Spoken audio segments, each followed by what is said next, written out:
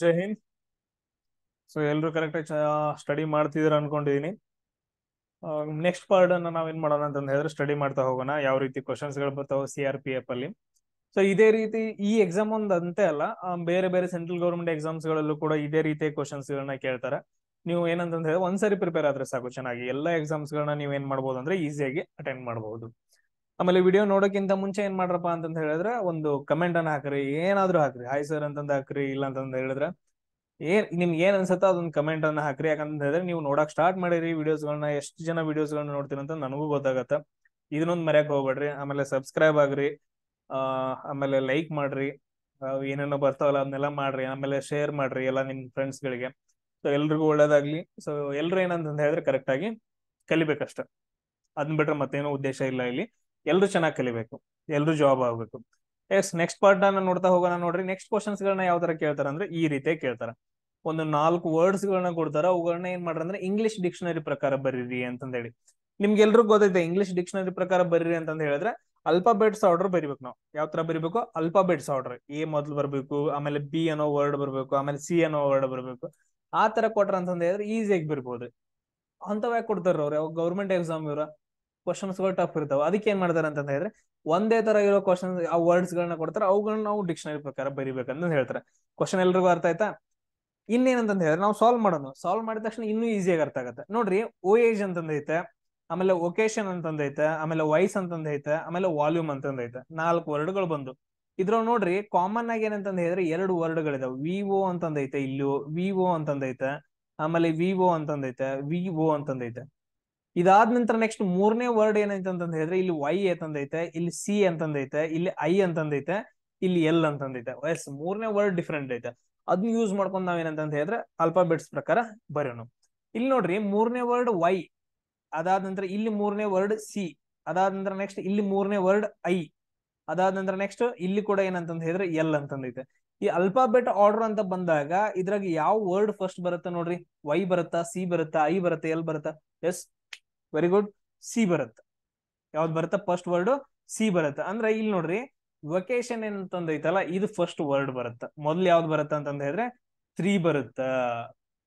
S ಅದಾದ ನಂತರ next option ಯಾವ್ದು ಬರುತ್ತೆ ನೋಡ್ರಿ, ಇದನ್ನ ನಾವು ಮಾಡಿಬಿಟ್ಟು ಇವಾಗ. ಫಸ್ಟ್ ಈ ವರ್ಡ್ ಬರುತ್ತೆ. ಅದಾದ ನಂತರ ನೆಕ್ಸ್ಟ್ ನೋಡ್ರಿ ಯಾವ್ದು ಬರುತ್ತೆ ನೋಡ್ರಿ? ನೆಕ್ಸ್ಟ್ ಇದು ಸಿ ಹೋಯ್ತಾ? ಸಿ ಆದ ನಂತರ ಮತ್ತೆ ಎಲ್ಲಾನು ಏನಂತಂದ ಹೇಳಿದ್ರೆ, ಎರಡು ವರ್ಡ್ ಮಾತ್ರ ಏನಂತಂದ ಹೇಳಿದ್ರೆ ಕಾಮನ್ ಇದಾವ. ಸೇಮ್ ಇದೇ ತರ ಆಯ್ತು. ಎಸ್, ವೈ, ಐ, ಎಲ್ ಅಂತಂದ್ ಡಿಫ್ರೆಂಟ್ ಅದ ವೈ, ಐ, ಆಮೇಲೆ ಎಲ್ ಅಂತಂದ್ ಡಿಫ್ರೆಂಟ್ ಇದಾವ. ನೆಕ್ಸ್ಟ್ ವರ್ಡ್ ಯಾವ್ದು ಬರುತ್ತೆ ನೋಡ್ರಿ?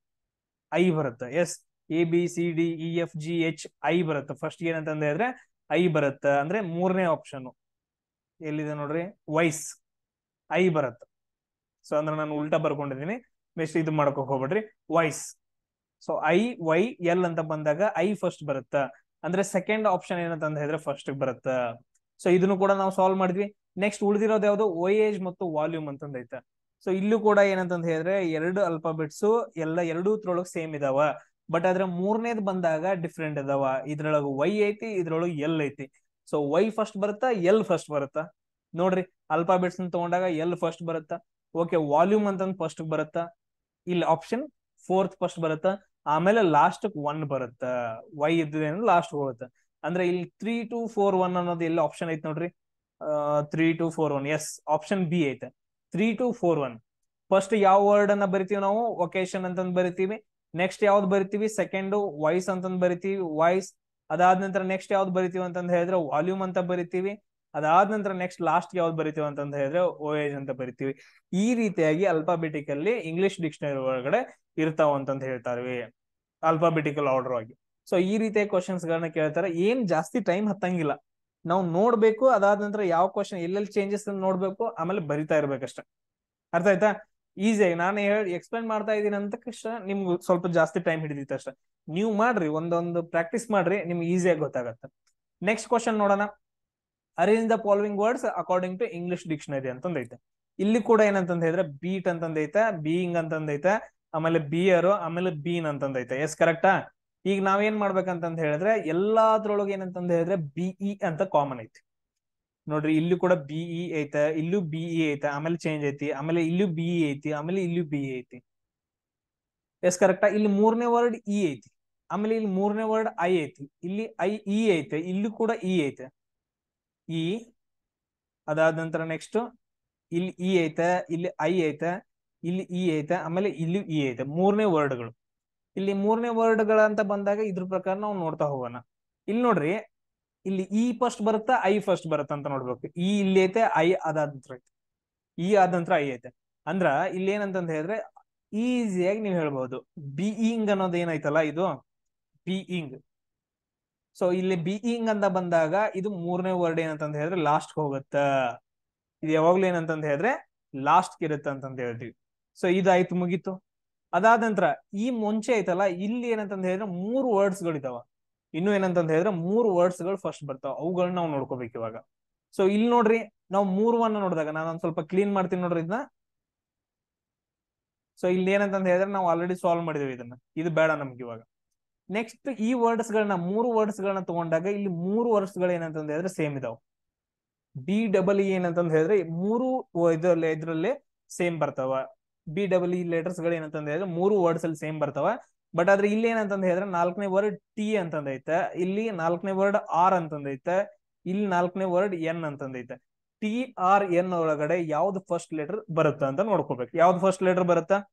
ಎಸ್ ಅಲ್ಫಾಬೆಟಿಕಲ್ ನೋಡ್ರಿ A B C D E F G ಅಂತ ಈ ತರ ಮಾಡ್ಕೋಗಿಂತ ಎ ಬಿ ಸಿ ಡಿ ಒಂದ್ಸರಿ ಬರ್ಕೊಂಡ್ರೆ ಬೆಸ್ಟ್ ಇರುತ್ತಲ್ಲ. ಸೊ ಅದಕ್ಕೆ ನಾನು ಬರ್ಕೊಂಡಿದ್ದೀನಿ. ಇಲ್ಲಿ ಎನ್ ಫಸ್ಟ್ ಬರುತ್ತೆ. ಯಾವಾಗ್ಲೂ ಏನಂತ ಹೇಳಿದ್ರೆ ಎನ್ ಫಸ್ಟ್ ಬಂತಂತ ಹೇಳಿದ್ರೆ ಇಲ್ಲಿ ಏನ್ ಬರ್ತೀವಿ? ಫೋರ್ತ್ ಫಸ್ಟ್ ಬರುತ್ತ? ಎಸ್ ಫೋರ್ತ್ ಫಸ್ಟ್ ಬರುತ್ತೆ. ಕನ್ಫ್ಯೂಸ್ ಮಾಡ್ಕೊಳಕ್ ಹೋಗ್ಬೇಡ್ರಿ ಸರ್ ಬೀಯಿಂಗ್ ಅಂತ ಹೇಳಿ ಲಾಸ್ಟ್ ಯಾಕೆ ಬರದ್ರಿ? ಇಲ್ಲಿ ನೋಡ್ರಿ ಬೀಯಿಂಗ್ ಅಂತ ಬಂದಾಗ ಐ ಬಂದೈತಿ ಇಲ್ಲಿ. ಮೂರನೇ ವರ್ಡ್ ಐ ಬಂದೈತೆ. ಇಲ್ಲಿ ಎಲ್ಲಾನು ಏನಂತ ಹೇಳಿದ್ರೆ ಮೂರನೇ ವರ್ಡ್ ಇ ಅದಾವ ಇದ್ರೊಳಗ. ಇಲ್ಲಿ ಫಸ್ಟ್ ಇ ಬರೋದ್ರಿಂದ ಏನಂತಂದ್ ಹೇಳಿದ್ರೆ ಅವೆಲ್ಲ ವರ್ಡ್ಗಳು ಫಸ್ಟ್ ಬರ್ತಾವ. ಬಟ್ ಅದ್ರ ಐ ಇರೋದ್ರಿಂದ ಅದ್ ಲಾಸ್ಟ್ ಹೋಗ್ಬಿಡುತ್ತೆ. ನೀವು ಬೇಕಾದ್ರೆ ಡಿಕ್ಷನರಿ ಒಂದ್ಸಾರಿ ನೋಡ್ರಿ. ಎಸ್ ಬೀಯಿಂಗ್ ಅನ್ನೋದು ಏನಂತ ಹೇಳಿದ್ರೆ ಫಸ್ಟ್ ಬರುತ್ತಾ? ಸಾರಿ ಬೀನ್ ಅನ್ನೋದು ಏನಂತ ಹೇಳಿದ್ರೆ ಫಸ್ಟ್ ಬರುತ್ತಾ ಇದ್ರೊಳಗಡೆ? ನೆಕ್ಸ್ಟ್ ಉಳಿದಿರೋದು ಯಾವ್ದು? ಟಿ ಮತ್ತು ಆರ್ ಟಿ ಮತ್ತು ಆರ್ ಅಲ್ಲಿ ಯಾವ್ದು ಫಸ್ಟ್ ಬರುತ್ತೆ? ಆರ್ ಫಸ್ಟ್ ಬರುತ್ತೆ. ಓಕೆ ಸೆಕೆಂಡ್ ಒನ್ ಬಂತು. ಅದಾದ ನಂತರ ನೆಕ್ಸ್ಟ್ ಏನ್ ಬರುತ್ತೆ? ಟಿ ಬರುತ್ತೆ. ಇಲ್ಲಿ ಫಸ್ಟ್ ಒನ್ ಬರುತ್ತೆ. Four two one three option ಎಲ್ಲ ಇತ್ತು ಅಂತ ನೋಡ್ರಿ. ಓಕೆ ಫಸ್ಟ್ ಐತ್ ನೋಡ್ರಿ. ಫೋರ್ ಟು ಒನ್ ತ್ರೀ ಈ ರೀತಿಯಾಗಿ ಏನಂತಂದ ಹೇಳಿದ್ರೆ ಡಿಕ್ಷನರಿ ಒಳಗಡೆ ನಾವ್ ಏನ್ ಮಾಡ್ತೀವಿ ಅಂತಂದ ಹೇಳಿದ್ರೆ ಅರೇಂಜ್ ಪ್ರಕಾರ ಬರಿತೀವಿ. ಈಗ ನಾವ್ ಹೇಳ್ತೀವಲ್ಲ ಫಸ್ಟ್ ಏನ್ ಬರಿತೀವಿ ಅಂತಂದ ಹೇಳಿದ್ರೆ, ಇಲ್ಲಿ ನೋಡ್ರಿ ಆಪಲ್ ಅಂತಂದೈತೆ ಅದಾದ ನಂತರ ನೆಕ್ಸ್ಟ್ ಇನ್ನೊಂದ್ ಏನಂತ ಹೇಳಿದ್ರೆ ಆಪ್ಸ್ ಅಂತಂದೈತೆ ಅಥವಾ ಆಪ್ ಅಂತಂದಷ್ಟ ತಗೊಳ್ರಿ. ಬೆಟ್ರ್ ಆಪ್ ಅಂತಂದಷ್ಟು ಸೊ ಈ ಎರಡು ವರ್ಡ್ ಅಲ್ಲಿ ಯಾವ್ದು ಫಸ್ಟ್ ಬರಿತೀವಿ, ಯಾವ್ದು ಲಾಸ್ಟ್ ಬರಿತೀವಿ? ಫಸ್ಟ್ ಆಕ್ಚುಲಿ ಇದನ್ನಷ್ಟ ಬರಿತೇವೆ ಆಪ್ ಅಂತಂದ ಹೇಳಿ. ಆಮೇಲೆ ನೆಕ್ಸ್ಟ್ ವರ್ಡ್ಸ್ ಗಳಿದಾವೆ, ಮತ್ತೆ ಮುಂದೆ. ಪಿ ಆದ ನಂತರ ಮತ್ತೆ ಏನಂತಂದ ಹೇಳಿದ್ರೆ ಎಲ್ ಇ ಅಂತಂದೈತೆ ಸೊ ಈ ಆಪ್ ಫಸ್ಟ್ ಬರಿತೀವಿ, ಆಮೇಲೆ ಆಪಲ್ ಅಂತ ಬರಿತೀವಿ. ಅರ್ಥ ಆಯ್ತಾ? ಇನ್ನೊಂದ್ ಏನಂತಂದ ಹೇಳಿದ್ರೆ ಗಾಡ್ ಅಂತಂದ್ ಬರುತ್ತೆ, ಇನ್ನೊಂದ್ ಏನಂತಂದ ಹೇಳಿದ್ರೆ ಡಾಗ್ ಅಂತ ಬರುತ್ತೆ. ಸೊ ಇದ್ರೊಳಗೆ ಯಾವ್ದು ಫಸ್ಟ್ ಬರಿತೀರಿ ಸರ್ ಫಸ್ಟ್ ಜಿ ಬರ್ ಡಿ ಬರುತ್ತ್ರಿ ಫಸ್ಟ್ ಡಾಗ್ ಬರಿತೀವ್ರಿ, ಆಮೇಲೆ ಸೆಕೆಂಡ್ ಗಾಡ್ ಬರಿತೀವ್ರಿ.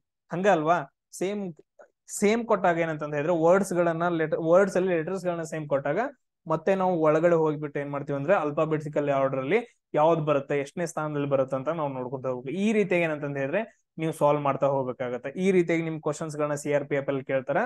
ಆಮೇಲೆ ಬೇರೆ ಎಕ್ಸಾಮ್ಸ್ಗಳು ಕೇಳ್ತಾರ ಕರೆಕ್ಟ್ ಆಗಿ ಅರ್ಥ ಮಾಡ್ಕೊಡ್ರಿ ಸೊ ಸರ್ ಅರ್ಥ ಏನಂತಂದ ಹೇಳಿದ್ರೆ ಇನ್ನೊಂದ್ ಏನ್ ಮಾಡ್ರಂತಪ್ಪ ಅಂತಂದ ಹೇಳಿದ್ರ ಸೊ ಕೆಲವೊಂದ್ ಜನರಿಗೆ ಏನಂತ ಹೇಳಿದ್ರೆ ಓದುವಾಗ ನೀವು ಬೇರೆ ಬೇರೆ ಕ್ವಶನ್ ಪೇಪರ್ಸ್ಗಳಲ್ಲಿ ಇವುಗಳನ್ನ ನೋಡಿರ್ತಿರಲ್ಲ, ನಿಮ್ನ ಹತ್ರ C R P F questions ಗಳಿರ್ಲಿ ಅಥವಾ ಬೇರೆ ಯಾವ್ದಾದ್ರು. ಸರ್ ನಮ್ಗೆ ಈಗ ಏನಂತ ಹೇಳಿದ್ರೆ ಸರ್ ನಮ್ಗ ಪಿ ಎಸ್ ಐ ಕ್ವಶನ್ ಪೇಪರ್ಗಳು ಸಾಲ್ವ್ ಮಾಡ್ಬೇಕ್ರಿ ಅಂತ ಹೇಳಿದ್ರೆ P S I question paper ಹಾಕ್ರಿ, ನಾನು ಸಾಲ್ವ್ ಮಾಡ್ತೀನಿ. ಸೊ ಅದಾದ ನಂತರ ವಾಟ್ಸ್ಆಪ್ ನಂಬರ್ ಇದೆ ನೋಡ್ರಿ ಅದಕ್ಕೆ ಸೆಂಡ್ ಮಾಡ್ರಿ. ಇಲ್ಲ ಟೆಲಿಗ್ರಾಮ್ ಗ್ರೂಪ್ ಇದೆ, ಅದಕ್ಕೂ ಸೆಂಡ್ ಮಾಡ್ರಿ. ಇಲ್ಲ ಅಂತಂದ್ರೆ sir C R P F ನಮ್ ಕ್ವಶನ್ ಪೇಪರ್ಗಳು ಇನ್ನು ಬಿಡಿಸ್ಬೇಕ್ರಿ ಅಂತಂದ್ ಹೇಳಿದ್ರೆ ಹಾಕ್ರಿ, ನಾನು ಮಾಡ್ತೀನಿ. ನೀವಿದ್ರೆ ನೀವೇ ಕ್ವಶನ್ ಪೇಪರ್ ಸೆಂಡ್ ಮಾಡ್ರಿ. ಏರ್ಪೋರ್ಟ್ಸ್ ಇದ್ರಿ ನಿಮ್ಗೆ ಯಾವ ಕ್ವಶನ್ ಪೇಪರ್ ಯಾವ್ದಕ್ ಸಾಲ್ವ್ ಮಾಡ್ಬೇಕು ಅದನ್ನ ಹಾಕ್ರಿ, ನಾನು ಸಾಲ್ವ್ ಮಾಡ್ತೀನಿ. ಆಮೇಲೆ ನೆಕ್ಸ್ಟ್ ಏನಪ್ಪಾ ಅಂತಂದ್ ಹೇಳಿದ್ರೆ, ಈ ತರ ಎಕ್ಸಾಂಪಲ್ಸ್ ಗಳನ್ನ ನಾನು ಕೊಟ್ಟಿದ್ದೀನಿ ಆಲ್ರೆಡಿ ಫಸ್ಟ್ ಸೆಕೆಂಡ್ ಅಲ್ಲೂ ಇದು ಪಾರ್ಟ್ ಅಲ್ಲೂ ನಾನು ಏನಂತ ಹೇಳಿದ್ರೆ ಡಿಸ್ಕಷನ್ ಮಾಡಿದೀನಿ. ನಿಮ್ಮ ಹತ್ರ ಕ್ವಶನ್ಸ್ಗಳು ಇದ್ರೆ ಏನ್ ಮಾಡ್ರಿ ಅಂತಂದ ಹೇಳಿದ್ರೆ ಹಾಕ್ರಿ. ಆಮೇಲೆ ನಿಮಗೆ ಯಾರೋ ಏನಂತಂದ ಹೇಳಿದ್ರೆ, ನಾನೇ ರಿಪ್ಲೈ ಮಾಡ್ತೀನಿ, ಇಲ್ಲ ಅಂತಂದ ಹೇಳಿದ್ರೆ ಬೇರೆ ಯಾರೋ ಸ್ಟೂಡೆಂಟ್ಸ್ಗಳು ಏನ್ ಮಾಡ್ತಾರ ಅಂತಂದ್ರೆ ರಿಪ್ಲೈ ಮಾಡ್ತಾರ. ಕರೆಕ್ಟ್ ಆನ್ಸರ್ ನೀವೇನಂತಂದ ಹೇಳಿದ್ರೆ ನಿಮ್ಗೆ ತುಂಬಾ ಯೂಸ್ ಆಗತ್ತೆ. ಎಲ್ರು ಏನಂತಂದ್ರೆ ಕಡಿಮೆ ಸಮಯದಲ್ಲಿ ಎಲ್ರು ಏನಂತಂದ ಹೇಳಿದ್ರೆ ಎಲ್ಲಾ ಕ್ವಶನ್ಸ್ ಗಳನ್ನ ಡಿಸ್ಕಷನ್ ಮಾಡಬಹುದು.